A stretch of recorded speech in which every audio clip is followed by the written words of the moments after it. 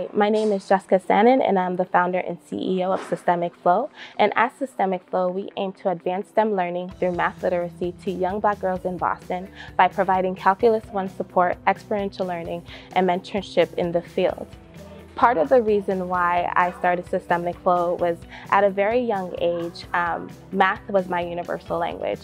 Um, English was not my first language. My family came from Haiti and their expectation for a woman going into any career was being a, a nurse. And I didn't want to do that. I didn't have the confidence to speak to people. I actually had stuttering issues when I was a kid, but there was something about math that when I was writing problems on the board became my universal language and, and kind of gave me this excitement to learn more about what math can bring me.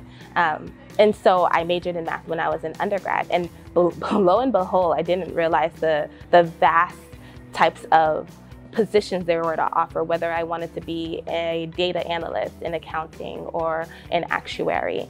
But as I was getting into my degree, I failed my first semester of Calculus 1, literally got a D minus. and moving forward into my degree, I struggled a lot. And part of my struggle was the fact that I had to overcome the, the negative stigmas of what it meant to be a black woman in a very white, predominantly male field. And then again, in that note, when I was in high school, I um, didn't have the ability to take Calculus 1. In fact, pre-calculus was an elective. Thank goodness it was an elective, or else I would have struggled more. Um, but this, this, this inability to not have this kind of advanced curriculum um, really put pressure on myself to, to try to correct those errors. And I don't want any girls going into STEM thinking that they um, don't understand the material because they never was exposed to it. And so we're looking to expose this to young girls who are either in the 11th or 12th grade, has a passion for STEM, lives in Boston, and identifies as Black, Indigenous, or person of color. So then that way we can create more and diversify the, the STEM pipeline within these industries who are looking for young girls like you to join their team. Um, it's super easy to get involved with us. As soon as you become a student, aka a systemic fellow, you um, get to attend um, really high level Calculus 1 courses that will prepare you for college in addition to finding ways to mentor with young, young professional, professional women in the field while also pairing you with companies who are looking to hire you in the summer.